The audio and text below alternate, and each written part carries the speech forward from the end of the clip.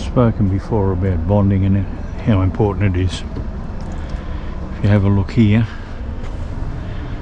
see all of that braid and there, right down here to the bull bar.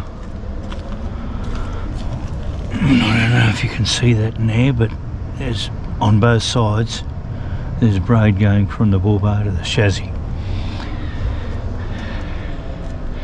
Now the problem was I've had this developing for a couple of weeks. Couldn't work out what it was. It sounded just like um, that connection there was not connected which reminds me I've got to put a cable tie in there. Like making and breaking connection all the time. Or a bad earth. Now have a look at the amount of bonding in there. Wasn't a bad earth it was sort of on transmitter was perfect but on receive was when people were talking to me. And I even replaced the coax from there all the way inside right along the chassis rail big job up into the cab nah. Extra bonding? Nah. Nothing. I thought it might have been internal in the antenna. Anyway but it had come and go and I couldn't work out why it would come and go. And I was scratching my head and scratching my head. And eventually I worked out it was probably when it rained it wasn't happening. So that told me again it was earth.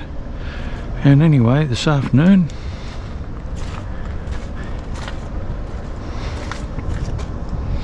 This pin does nothing. All it does is if you get bogged, you pull you out with it. That was just in there rattling. That's all it was.